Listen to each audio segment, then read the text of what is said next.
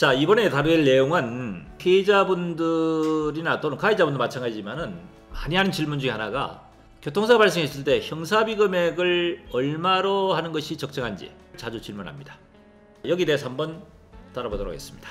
어, 사고가 나게 되면은 그 사고 형태를 우선 알아야 되겠죠. 사망 사건이냐 또는 중상 사건이냐 또 12기항고 사고냐 그 외에 이 사고 자체가 뺑소니 사고냐 또는 음주운전 사고냐 무면운전 사고냐에 대한 부분도 사전에 정확하게 한번 체크를 해보고 대응을 해야 됩니다. 왜 그러냐면요. 일단 어, 사고 나게 되면은 1차적으로 지금 피해자분들 입장에서 먼저 확인해야 될 부분이 사고 형태를 확인한 뒤에 가해자 운전자 보험이 들어있는지 확인을 합니다. 과거와 달리 지금 운전자 보험이 상당히 금액이 많이 예, 상향이 됐습니다. 변호사 비용뿐만 아니고 예, 형사 처리 지원금 같은 경우도 사망이나 중상이 사고 경우에는 보호 한도가 지급 한도가 1억 5천, 그 2억 원까지 상품들이 많이 나와 있습니다. 예, 그러다 보니까 형사비를 한 데 있어서 가해자 입장도 마찬가지, 피해자 입장에서도 어, 운전자가 들어 있으면은 합의하기가 좀 더 편리하고 좀 더 수월할 수가 있습니다. 운전자보험에 가입되어 있다 하더라도 가해자가 뺑소니 사고나 또는 음주운전, 무면운전 사고를 야기했을 때는 운전자보험 혜택이 안 된다는 것이 문제입니다.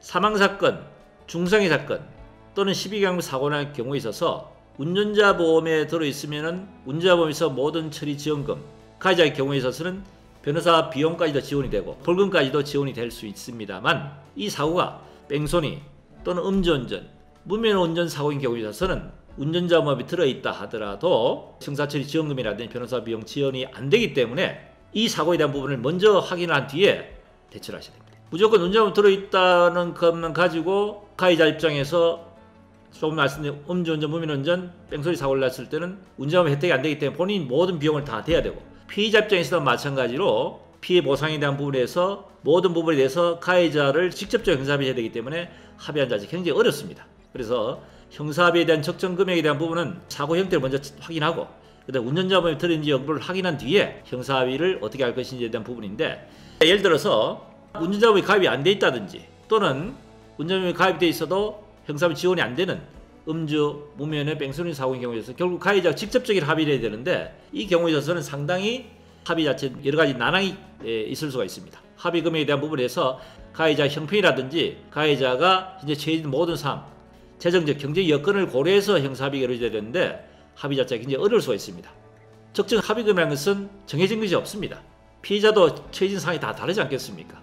뭐 3대 독자가 사망을 했다든지 또는 장애 자체도 뭐 평생 영구장애 입은 그런 개환전 경우 이런 경우도 있을 수 있고 단순한 부상을 입어서 장애를 입었지만 부상 정도가 심하지 않은 경우가 있어서 그런데 가해자는 예를 들어서 어 뭐 공무원이라든지 여러 가지 그 여건이 좋은 경우에는 합의금을 많이 어느 정도는 고려할 수 있지만은 신용 불량자라든지 본인의 채무가 많아서 경제 여건상 빚을 내서라도 합의가 어려운 상황 여러 가지 경제 여건에 따라서 합의가 원만히 이루어질 수도 있고 합의가 안 될 수도 있기 때문에 적정 합의 금액에 대한 부분은 정해진 건 없습니다.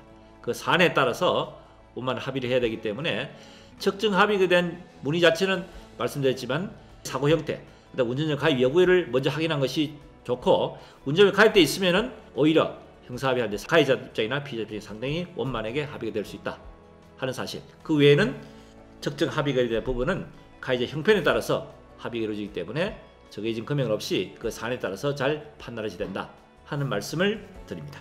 도움이 되셨으면 구독, 좋아요 부탁드립니다.